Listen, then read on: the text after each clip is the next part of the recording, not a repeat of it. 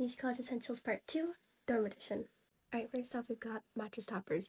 I know a lot of people are like, oh my gosh, I don't need them, that'll be fine.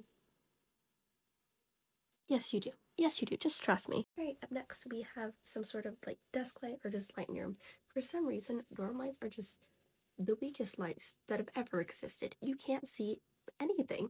So having some sort of like light on your desk or even just some sort of like floor lamp how even just like those LED strips just makes everything so much easier. You'll thank me when it's 1 a.m. and you're studying and you can actually see the work you're doing.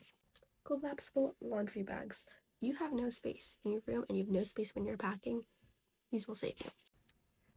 Tired of fighting with your roommate over who gets to use the one outlet in your room? Pull out this bad boy and all your problems will be solved. Well, at least with the outlet thing. I don't know about the rest of them. Hopefully so, and follow for more.